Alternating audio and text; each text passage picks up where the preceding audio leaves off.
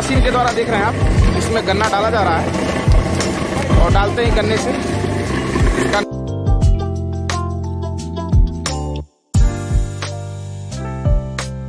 अपने आखिरी स्टेप में आ गया है। तो अब इसको छीट करके सीधे बाहर किया जा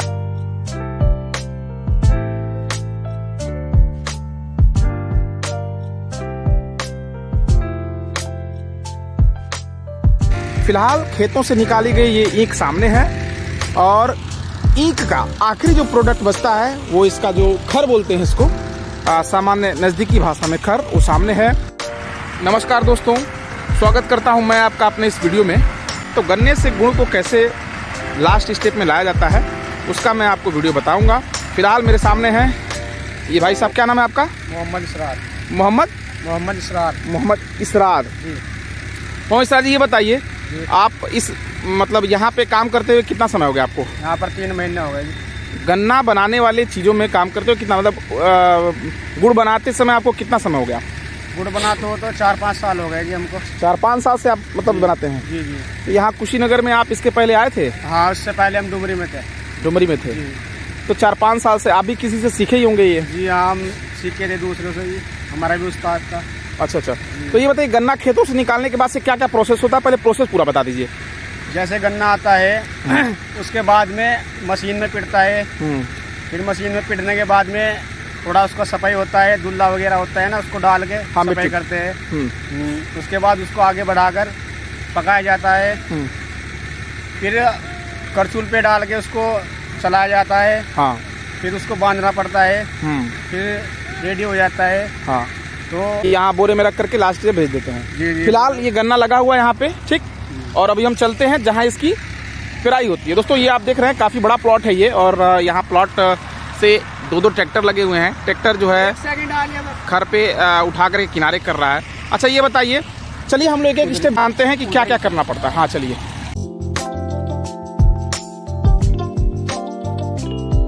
तो अभी पहला स्टेज जो है ये देखिए।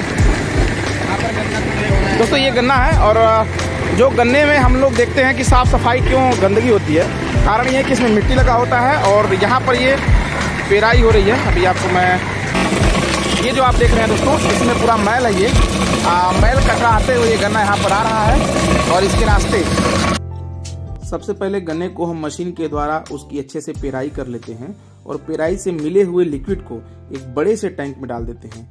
ये जो टैंक होता है, ये सीमेंटेड होता है और इस सीमेंटेड टैंक के नीचे हम एक होल किए होते हैं। उस होल के माध्यम से हम पाइप के द्वारा इसे पहले टैंक के, पहले कढ़ाई के पास पहुंचाते हैं। जो पहला कढ़ा होता है, उसमें हल्की आँच हम देते हैं ताकि जो ज़्यादा गंदगियाँ हैं, यहीं पे बाहर आ जाए। इन गंदगियों को कुछ खाली करते हैं और बाकी गंदगियों को हम ले जा करके एक बड़े से खड्डे के पास जमा कर देते हैं। खड्डा जो होता है वो खोदा जाता है और इसको उसमें जमा कर देते हैं, जो कि पाँच से चार महीने के बीच एक अच्छे खाद के रूप में प्राप्त हो जाता है।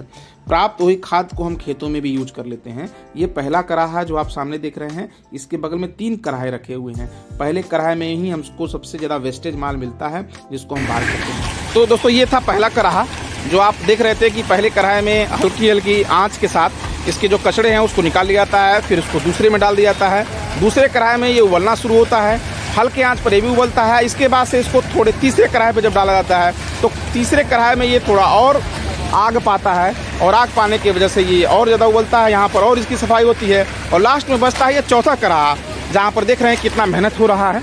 लगातार इसको चलाना पड़ता है, क्योंकि एक समय होता है जब इस इस गन्ने से निकले हुए रस का आखिरी बार मरम्मत किया जाता है, जो गुड़ में परिवर्तित होता है।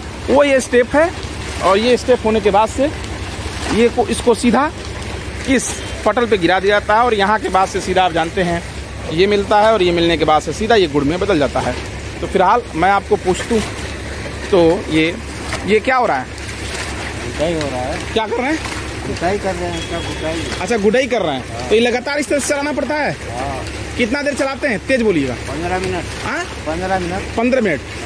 अच्छा ये बताए इन इन तीनों में नहीं चला जाता है? हाँ? क्यों इसी में चला रहे हैं आप?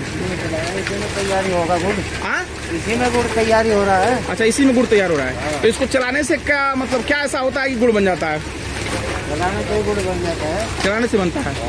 तो फ़िलहाल जब निकालते होंगे तो अगर नहीं चलाएँगे तो जल जाएगा क्या हो जाएगा जल जाएगा? जल जाएगा। ओ और जल जाएगा तो फिर? जल जाएगा तो खराब हो जाएगा। खराब हो जाएगा। अच्छा। तो यहाँ के बाद से इसको निकाल करके इस पे डालेंगे। यहाँ पे भी चलाना पड़ता है। अच्छा इसमें कुछ केमिकल भी मिलाते हैं क्या? हाँ? ये क्या चीज़ है? अच्छा यही बस फिटकरी डालते हैं इसमें। फिटकरी क्यों डालते हैं? सफ़ाई के लिए डालते हैं। हाँ?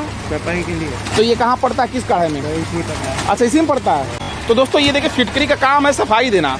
और इसमें डाल करके ये इसकी सफ़ाई करते हैं। और सफ़ाई करने के बाद से इसको बराबर इस पे निकाल देते हैं। इस पे निकालने के बाद से आप ये देख रहे हैं असली, आखिरी रूप में अपने गुड़ आ जाता है। तो जिसको आप अपने घरों में, दुकानों में देखते हैं, फ़िलहाल ये सामने आप देख रहे हैं, मरम्मत हो रही है बिल्कुल। आटे की तरह इसको माजा जा रहा है और आटे की तरह माजने के बाद से हमारे सामने एक बेहतरीन रूप देते हुए गुड़ का। तो ये था गन्ने से बनाया हुआ रूप।